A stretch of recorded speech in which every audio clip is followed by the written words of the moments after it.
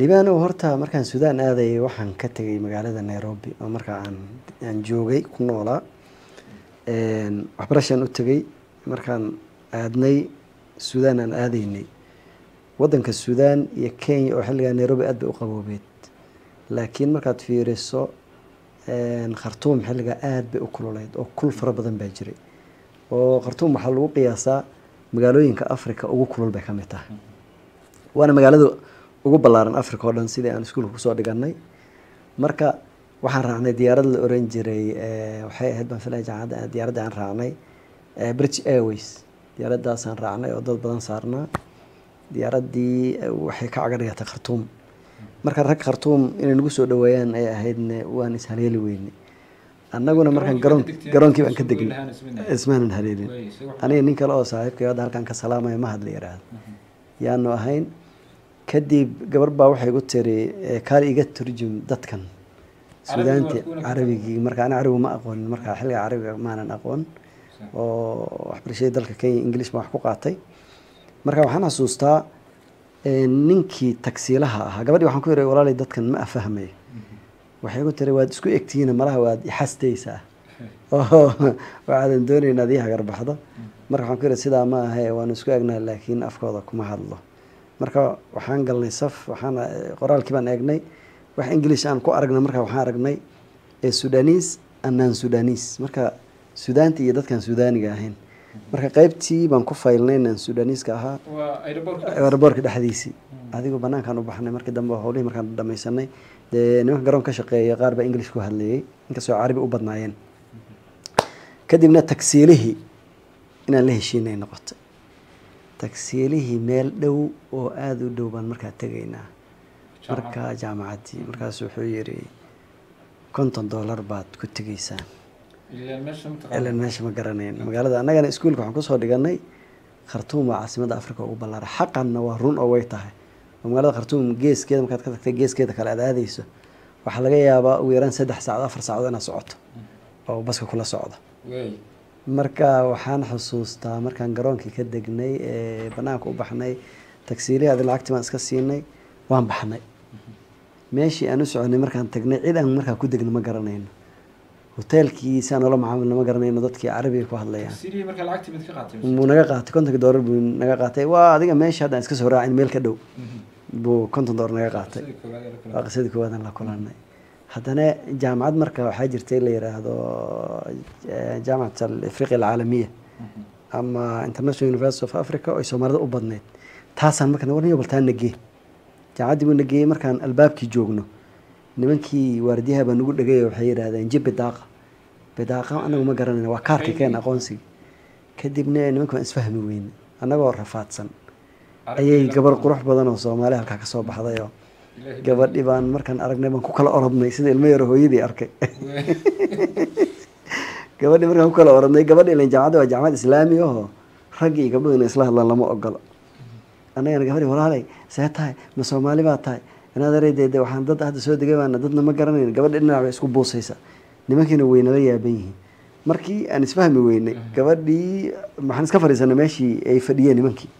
Waa nimanka waa boolis marka inta badan boolis baa ilaaliyay jaamacadaha suudaanta kadibna habeenkaasaan marka adiga dad ba wiil baa noo yimid oo marka dambe waana la kaxeeyey qisada marka la yaab kale waxay ahayd gabadhi waxay nagu tiri qabiilkeed dooneysaan reerkeed rabtaan.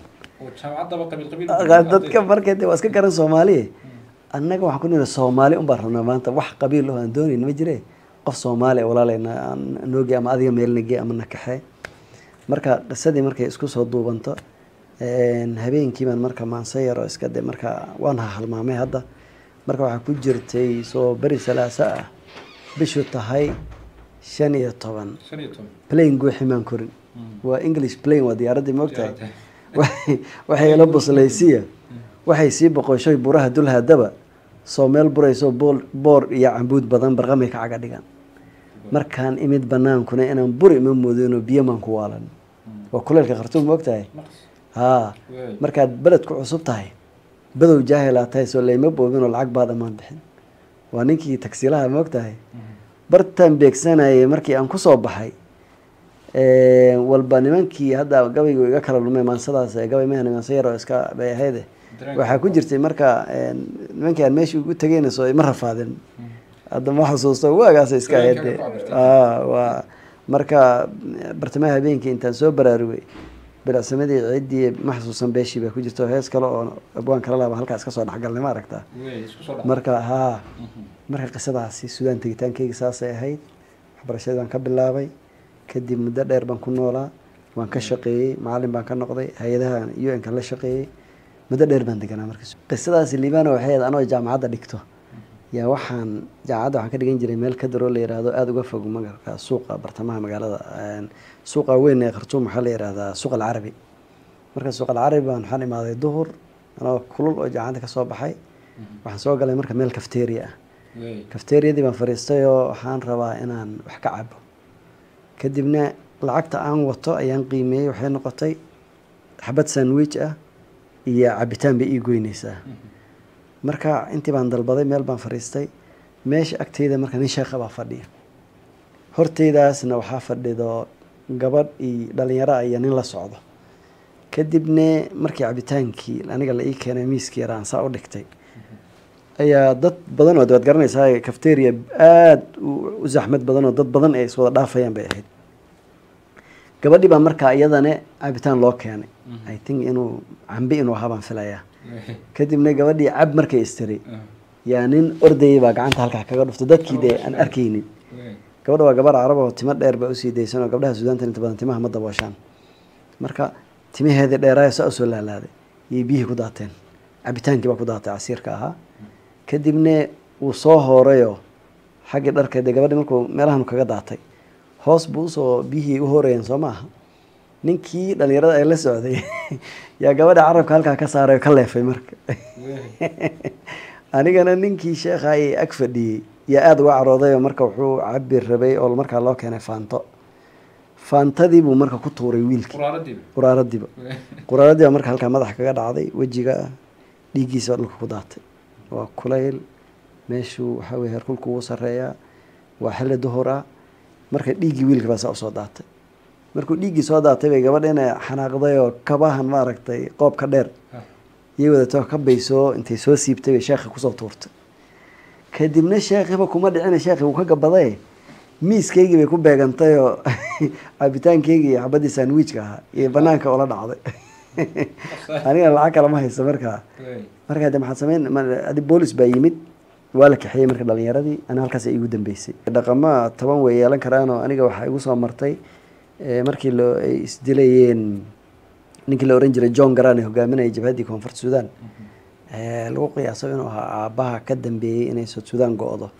Ninkaa waa kii isaga oo kow iyo labaatan sano dagaalamayay kow iyo toban habeen markii uu ko iyo labaatan habeen markuu xukunka ay ra'isul wasaaraha dalka u noqday madaxweyne ku-xigeenka dalka u noqday. Yaa maxaa la dhihi jiray? Waa kii diyaaradda dhacday oo dhintay. Maalinta jaamacadda jubban joogay. Maalinta ani waa laigu dili gaaray oo dhibaato weyn baa iga soo gaadhay intay dadkii reer koonfurkaaba xanaaq oo dadkay leynayeen subaxi markaan jaamacadda tegay marka waxaan xasuustaa ardaydu way kala baxday. Waxaa loo kala baxay suudaantii koonfureed iyo suudaantii waqooyiga loo kala baxay. Marka aniga nin aan saaxiib ahayn baa wuxuu igu yiri oo reer waqooyiga wuxuu igu yiri nin anaga na soo raac. Marka waxaan ku yidhi idan ma raacay kadibna nin joseph la oran jiro hadda wuu dhintay masiixina ahaa. Koonfurta ahaa baa ii yimid wuxuu yiri maxamedow maanta waan dagaalamaynaa. Idinkii iyo carabtana waa isku egtihiin waa lagugu dilayaaye. Aniga isoo raaco aan ku badbaadiyo oo aan israacno mar waxaan ku yidhi niyo idinkana idan raaci maayo. Qolyaha kalena raaci maayo. Marka aniga jaacadda iska joogaya. Dadkii marka anagoo meesha joognaa dharcad baa noo timin jaacadda ka soo degana lagu yiri albaabadana jaacaddi waa loo xiray. Kadib waa la kala baxay marka anigiioo meelihii joog joogo oo dee maxaad samaysaa isleh yaan bas iska raacay. Dhexda markaan maraynaa weerarna lagu qaaday oo gawaaridii baa jiq isku noqdo darawaliintii gaarigii baska aan ku jiray darawalkii weli maya jabhaddi ma soo weerarin dadkii gudaha joogay ee reer koonfur suudaan oo caraysan baa dadka leynay yaa marka daaqada ka booday laftigiis darawalkii. Gaarigii baan ka daadanay oo lug inaan cararnay noqotay. Kadib waa soo cararno meel rimeela la oran jiraan anigu yaan yaan yaan marka dambe imi. Waxaa marka dhacday waxaan arkay marka anuu meeshii booliska agteeda taagan. Yaa arkay hirar iyo hirar dadkii madoobaa ahay oo soo socdo. Iyo booliskii xabadarida naga leexda naga dheeraada naga dheeraada oranay. Kadib laba nin oo reer waqooyi oo gaari bas ku baxsanaya baan raacay. Gaarigii hata soo galay meedhin waan la galay. Saan meeshii dee uga baxsado. Kadib markaan dhexda marayno meel jireef la oran jiray markaan ku dhownahay ayaa dhaheen webiga dhankiisa midig baan u leexanayna. Anigan waxaan ku yidhi xaafad kalaa kale la yidhahdaan deganaa xaafaddaasaan ku leexanaya. Aniga marka waxaan ku socdaa maya jaamacaddii waan ka soo tagnayba xaafaddii aan deganaa baan ku socdaa. Kadib waxaa dhacday markay idejiyeen in yar aan lugeeyeyba waxaan soo galay suuq. Dadka carabtaa la laayay oo meydka ilaa sideed nin oo meyd ay dhex taallo. Oo ana keligay baan ahay. Oo reer koonfurkan ay ku xunsan yihiin. Markii la arkay baa la hareereeyey marka aniga waa la qabtay